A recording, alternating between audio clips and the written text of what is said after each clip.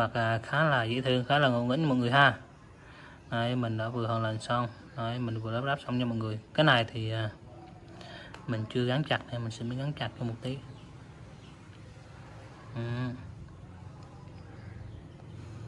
ok nha mọi người.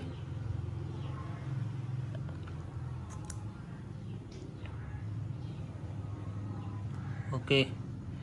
Thì à, bây giờ mình sẽ review cho mọi người xem nha à, đây là một, bộ Lego mini như thế này mà cái giá thành của bộ Lego mini như thế này thì cũng rất là rẻ nha mọi người không có mắc nha. À, chỉ vài chục ngàn à, đổ lại thôi nha mọi người. Vì loại này là loại nhỏ nên khá là rẻ. Mà khi mọi người vào việc mua bo một việc tìm kiếm mua cũng rất là dễ nha mọi người. Mọi người chỉ cần lên uh, search tìm kiếm uh, có bộ Lego mini là nó ra rất là nhiều cho mình uh, lựa chọn nha. Rất rất rất nhiều sản phẩm đa dạng sản phẩm cho mình lựa chọn nha mọi người mình có thể tham khảo nha. À, đây. Khi mình mua về nó sẽ bỏ cho mình trong một cái hộp giấy nha mọi người. Mình chỉ nhìn à, vào trong hộp giấy nó nó sẽ có một tờ giấy.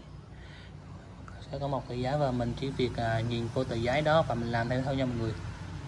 Đấy, mình chỉ việc nhìn vô tờ giấy đó mình làm theo thôi. Rất là đơn giản. Ừ ai cũng có thể lắp ráp được nha mọi người. Không nhất thiết là người lớn hay trẻ em nha. Và đặc biệt mà, và lưu ý là mọi người nếu mọi người ở nhà có trẻ em thì mọi người có thể tham khảo các bộ Lego mini này về cho các bé ở nhà mình để làm cho mọi người. Vì mình thấy hiện nay các bé đa số là rất là kiểu rất là rất là kỳ điện thoại đó mọi người. Điện thoại thì uh, mình thấy trẻ em chơi game rất là nhiều. Nó ảnh hưởng đến cái sức khỏe của các bé này ảnh hưởng đến tư duy của các bé này ảnh hưởng đến quá học tập của các bé này nên mình nghĩ mọi người này nên tham khảo các mẫu này để mua về cho các bé nhà mình sử dụng nha. Biết đâu các bé có thể đam mê với các bộ môn Lego này nha mọi người. Đấy, mà nếu mọi người có thời gian rảnh thì mọi người có thể cũng tham khảo các mẫu mẫu này nha mọi người. Đấy, việc việc lắp ráp cũng khá là đơn giản ai cũng có thể làm được. Đấy, ờ, có bộ Lego như thế này thì mấy mọi người làm xong đó thì mọi người có thể tham khảo uh, mọi người có thể đem đi uh, trang trí có uh, phòng khách phòng ngủ. Hoặc phòng làm việc của mình đó mọi người. Đấy, rất là hay nha. Ừ. Đó là trang trí phòng khách phòng ngủ của mình nè. Đấy, hoặc là trang trí có học tập làm việc của mình được nè.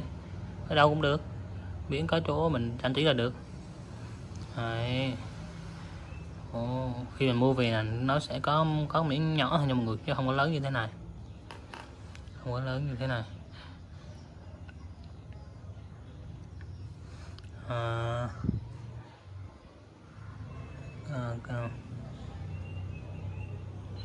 Đấy, mọi người có thể tham khảo nha. Ok nha mọi người thì video mình kết thúc tại đây nha mọi người. Nếu mọi người thấy video này hay mọi nghĩ trên một like một chia sẻ đăng ký kênh ủng hộ mình nha mọi người. Ok hẹn mọi người vào những video tiếp theo nha. Bye bye mọi người.